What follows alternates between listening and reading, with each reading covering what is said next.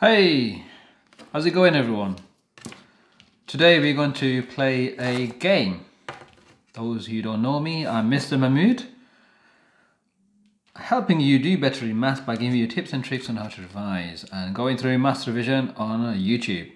That's right, on YouTube.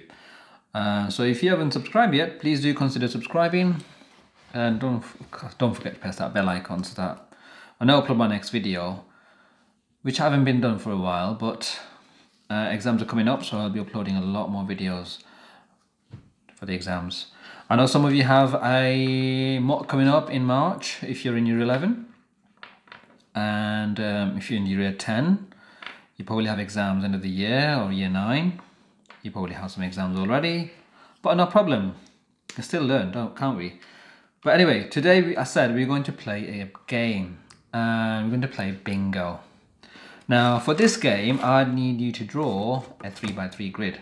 Now if you're watching this video, I'd like you to pause it, get some paper, and then you can join in. So if you're not sure what a 3x3 grid is, basically a box with three, um, not three, nine squares in it. Nine boxes. So let's draw the 3x3 grid. So I'm going to draw a box here. Yeah, can you see that? So that's a 3 by 3 grid. Uh, well, that's not a 3 by 3 grid, is it? This is just one box. One by one. So you should have, how many squares would you have in a 3 by 3 grid? Yes, 9. 3 times 3 is 9. So, draw the lines to give you 3 times 3, which is 9 boxes. Okay, and this is where we can involve area in it as well, because you got the length and width is 3, because it's a square, 3 times 3 is 9. 3 squared is 9, we can bring in square numbers as well. 3 squared is 9. can do all sorts of maths. Simple box. Maths is amazing, isn't it? But anyway, now We've got the grid, so did you use pencil and ruler to draw your grid? Well, you get told off, don't you? Well, you usually get told off in school by your teacher if you don't use pencil and ruler to draw shapes in your book. Um, today I'll make an excuse. You don't need to use a pencil or ruler, but just draw a 3 by 3 grid. I want you to place the numbers between 20 and 90.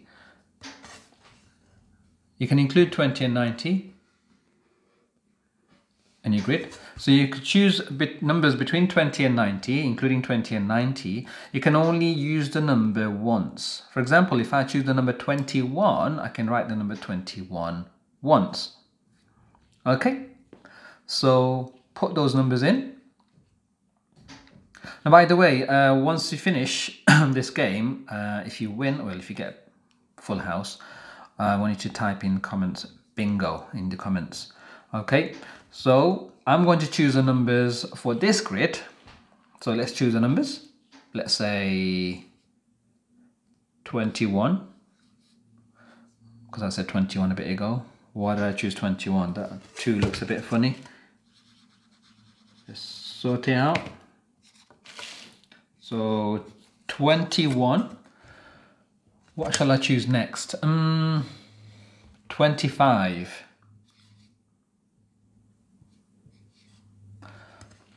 Twenty-five. Let's say go into the thirties. Thirty-six. Thirty-seven. Forty-two. Give me the number. Fifty-eight. And let's go to the 60s. 62, 70, and let's say 80. Okay, I've chosen my numbers now. Nine numbers. Do I have any repeats? No. so, nine numbers gone into the grid. Now, the rule is now, I'm going to roll these two dice. And as soon as I roll the numbers, I'm going to call out the numbers. You need to add the numbers up. and then cross out the multiple of that number from your grid. Now, if you're not sure what a multiple is, multiples are numbers that appear on the times tables of that number. So for example, if I roll, I'll roll, I'll do a trial. So this is a trial, don't cross out any numbers yet. So four and six added together gives me 10. I list the numbers here anyway. So 10. Cross out the multiples of 10 on your grid. So how many multiples of 10 do we have? If you have two multiples of 10, you can cross out both. If you have three, you can cross out three of them as well. So I've got two multiples of 10. So I'm going to cross out 70 and 80. Okay, that was a trial. So, are we ready to go? Okay, let's start. let's see how many goes we need to take in order to cross out all these numbers. So here we go, first set of numbers. 4 and 4. 4 and 4. 8. So the number is 8. So if you've got any multiples of 8 on your grid, cross them out now. Do I have any? 21, no. 25, no. 4 times 8 is 32, no. 37, no. 42, no. 58, mm, if you know a times table, you should know it by now. 62, no. 70, no. 80, yes, 80. 8 times 10 is 80. I can cross out 80. Crossed out. One number crossed out so far. Next go. Let's roll them. I'll show you the numbers so that I'm not cheating. So 4 and 1. 5. So 4 add 1 is 5. Cross out the multiples of 5. Do we have any multiples of 5? Yes, I can see one here, 25. 5 times 5 is 25. 36, no, 70. 5 times the number gives me 70. What's that number? 14. 5 times 14 is 70. I'm good with my timetables. Do you know your timetables? Well, if you know don't know your timetables up to at least say 12, I would suggest that you get to learn them now. 6 and 3, 9. 6 and 3 is 9. Do I have any multiples of 9 on this grid? 21, no. 9 times 2 is 18. 9 times 4 is 36. Let's cross out the 36. 42, no. 58, no. 62, no. Okay, so far I crossed out one, two, three, four numbers. I had three goals already. Not bad, doing well. So let's do it again now. Next. 6 and 1. 6 and 1 are the numbers. Have a close look. 6 and 1 is 7. 6 and 1 is 7. 7 goes into 21. Yeah, 7 times 3 is 21. Let's cross it out. 737, no. 7 times 6 is 42. I can cross out 42. And 58, 62, no. That's it. So let's have a go again. So I'm going to list the numbers here as well. Uh, next, 5 and 3. 5 and 3 is 8. We already had an 8. Therefore, uh, we already crossed out the multiples of 8, so we cannot cross it out again. So let's try the next one. 5 and 3, 8 again. No, let's give it a good shake. 3 and 2, 5. We already had a 5. Not going to work. 4 and 3, 7. No, it's not going to work. We already had 7. 5 and 6. Okay, 5 and 6, 11. Do we have any multiples of 11? So the next number we had 11. I do not have any multiples of 11. If you have any, you can cross it out. Next, 3 and 3, 6. Okay, the next number is 6. I'll write it here. 6. Does it go into any number? 6 times 6 is 36. Close. We cannot cross it out though. 58, no. 62, no. 6 times 10 is 62. Very close numbers. We can't cross them out though. 5 add 1 is 6. No, not going to work. 2 and 2, 4. Do we have a 4? No. Let's write down the 4. Does 4 go into any of them? 4 doesn't go into 37. 4 times 9 is 36. 4 doesn't go into 58 either. 4 doesn't go into 62 either. Oh, let's try again. If you have a multiple of 4, cross them out. Does anyone have bingo yet? Let me know in the comments. With capitals, bingo. I can put a few more exclamation marks there as well. 6 add 1 is 7. We already had the 7s. We can't cross it out. 2 add 1 is 3. I'll show you the numbers. 2 and 1. 3. Okay. Do we have a multiple of 3 in here? We might do. No. No. 3 times 12 is 36. Again, very close. 3 times 19 is 57. No, close again. 3 times 20 is 60. Ooh, difficult. 5 and 4 is 9. We already had a 9, so we cannot cross it out.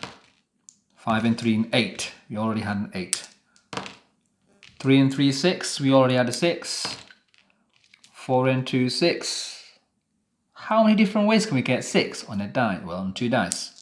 By adding two numbers. Let me know in the comments 5 and 1. There's another 6. 6 and 2, 8. 2 and 1, 3. We already had 3. What numbers do we need to cut out the numbers? Well, let's carry on. 6 and 4. 10. Do we have any multiples of 10? No, we don't. Have a think about it. We already had a multiple of 5. Does that mean we could have crossed out the multiple of 10 as well? Yes, we did. 70. We had a multiple of 8, which is 80 crossed it out. Then multiple of 5 crossed out the 70. So multiple of 10 kind of useless now. 6 and 6 is 12. 4 times 12 is 48. 5 times 12 is 60. No, it doesn't work. No. 3 and 1 is 4. 6 add 4 is 10. Again, 5 and 1 is 6. No.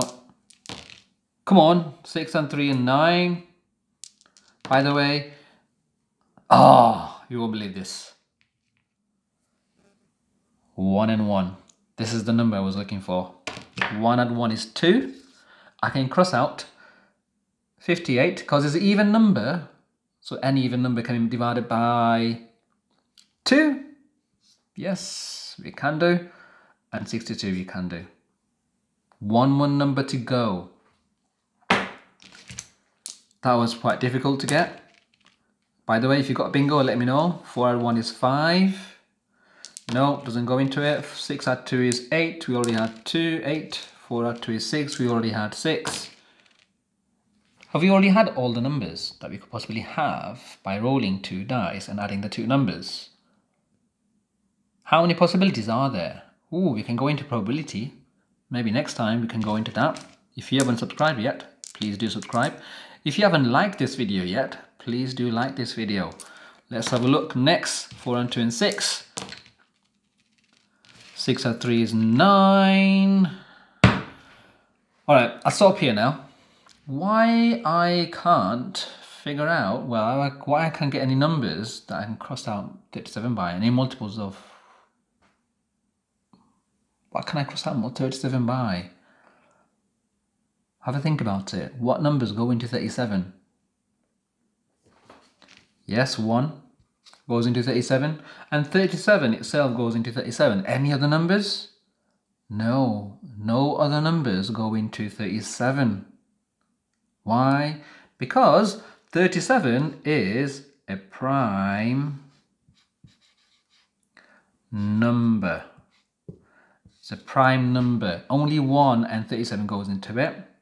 Therefore, 37 cannot be divided by any numbers that appear on the dice. Well, if even if you add two numbers on the two dice, you want me to cross them out because there's not a number with no two numbers that will make up to 37. And we cannot have one either because the minimum we can have two because one and one is two. If it was one dice, then possibly we can, but two dice we cannot because we're adding those two numbers. So the probability of crossing out a 37 by adding two numbers on two dice is zero. Okay, we cannot do that because it's a prime number. A good way to learn, understand what prime numbers are, this game, and also don't forget to uh, let me know if you had bingo already. You probably had bingo way before me because the numbers I choose weren't great. Um, don't forget to subscribe and I've got a join button here on my um, channel main page because I'll be doing uh, memberships, well starting memberships.